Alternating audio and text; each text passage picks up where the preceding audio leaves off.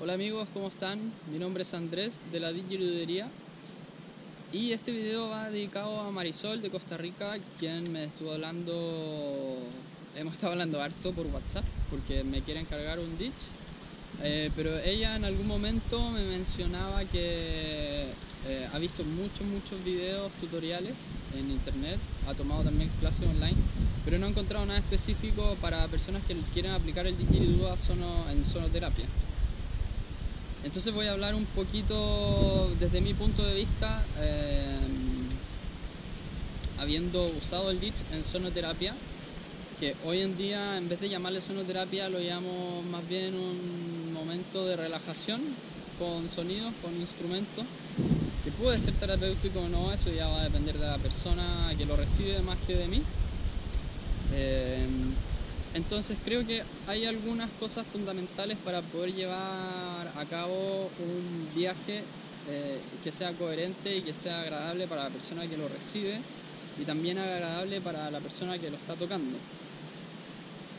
Entonces lo primero que hay que saber es que la otra persona eh, está escuchando y está sintiendo. Entonces cualquier variación o cualquier cosa intensa o suave lo va a percibir. Por lo tanto, es muy importante que sepan controlar por lo menos los volúmenes del ditch o la intensidad de los sonidos con los que tocan. Eh, por ejemplo, si van a partir una sesión y van a hacer esto...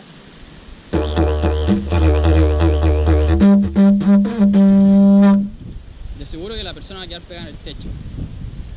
Entonces es muy bueno eh, controlar los volúmenes e intensidades para poder partir lento y después quizás podemos llegar a eso de manera más ordenada que lo que hice yo ahora obviamente, eh, pero que haya una transición.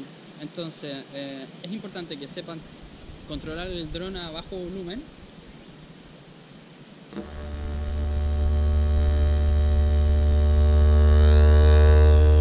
Y de ahí subir al volumen en el que se está tocando normalmente. Para lograr hacer eso hay que sentir muy bien la manera en la que vibran los labios porque es menos aire, eh, se bota más despacio, pero aún así el digi está vibrando y el drone está sonando. Otra cosa también que pueden usar eh, son las trompetas. La trompeta del, del es un sonido que va aparte del drone, eh, que uno como que solamente sopla. Hay un video de trompetas en YouTube que grabé yo.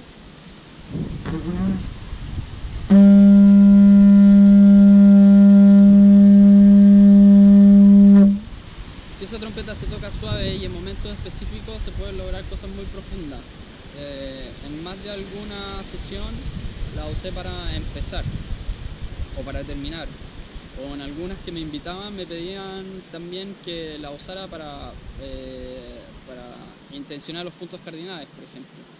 Entonces es un sonido que sirve bastante, pero hay que saber usarlo para que no produzca estruendos.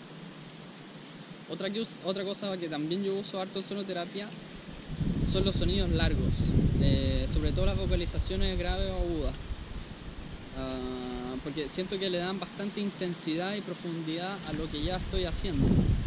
Entonces, ¿cómo lo hago para que un sonido suene largo? Bueno, tomo más aire, porque la idea es que no hay una respiración entre medio, sino que con una sola inhalación se pueda lograr todo el tiempo que, que se busca hacer ese sonido. Sería algo así.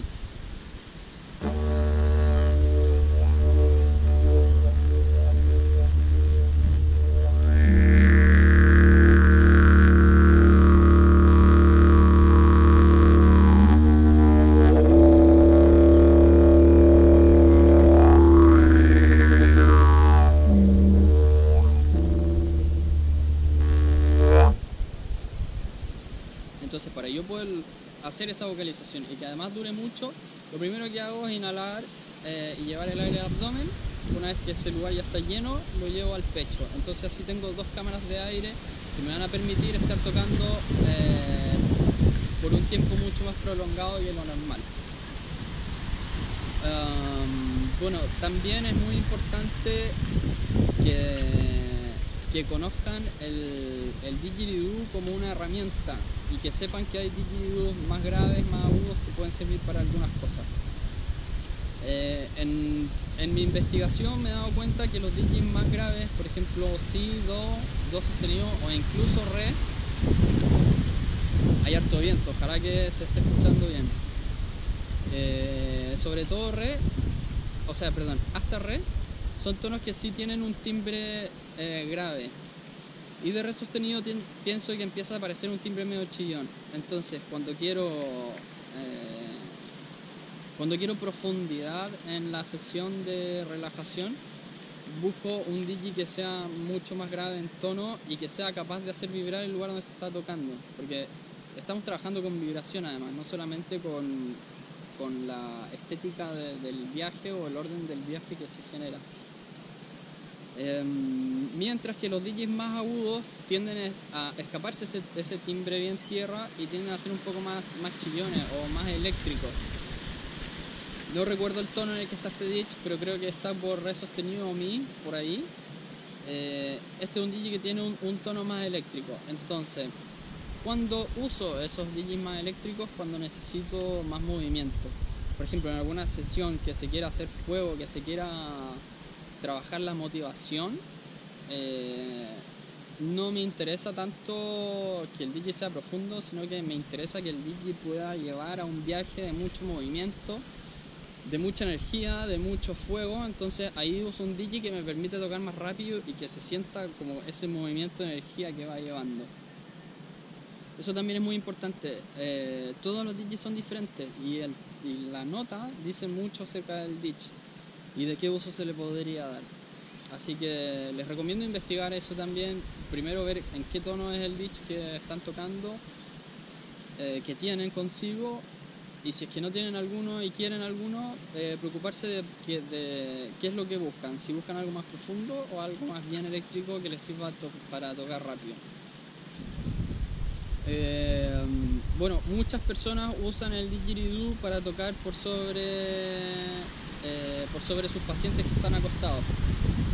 Entonces, en ese caso, yo recomiendo un digi corto, eh, que bueno, es justamente para el digi que quiere Marisol, un digi corto y en un tono grave y que sea liviano. Porque si vamos a estar con el brazo arriba durante varios minutos, eh, mientras más largo el ditch, más palanca hace, entonces más peso genera o más molestia para los brazos por un momento. Un digi pesado es lo mismo, y no queremos tener que estar a 3 metros de distancia para poder tocar el pecho de la persona, sino que queremos estar un, un poco más cerca, porque a veces los espacios también son reducidos. Entonces un DJ corto facilita bastante eso. Ah, los DJs de bambú tienen harto esa característica, pero su geometría eh, no es muy amigable, entonces no los recomiendo mucho para, para, para eso. Los DJs de bambú son más bien para conocer el instrumento. Eh, pero es bueno tener un DJ un poco más específico con otra geometría que permita hacer otras cosas y progresar un poco más. bueno, creo que lo digo todo. Si es que olvido algo, voy a grabar un video número 2. Ah, así que a todas las personas que quieren usar el DJ en terapia, eh, el tema es muy intuitivo. Pueden meterle lógica y teoría o pueden no hacerlo lo importante es que sepan que este es un instrumento eh, que tiene mucha fuerza y mucho poder de conexión. Entonces es importante que lo usen y que lo hagan con respeto hacia otra persona y entregando lo mejor de ustedes. Ah, para que así lo que reciba la otra persona van a ser puras cosas positivas. Así que bueno, si tienen alguna duda me pueden preguntar. Yo no me dedico a la sonoterapia, he tenido la oportunidad de hacerlo en varias ocasiones eh, con otras personas, eh, me ha tocado hacerlo solo, me ha tocado hacerlo con mi pareja también, con la Estefa. Eh, entonces no soy profesional en este tema, pero sí he recibido buenos comentarios una vez que termina la sesión. Así que creo que voy por un buen camino las veces que lo he hecho. Y bueno, Muchas gracias. Si tienen dudas, me preguntan. Yo estoy respondiendo casi inmediatamente.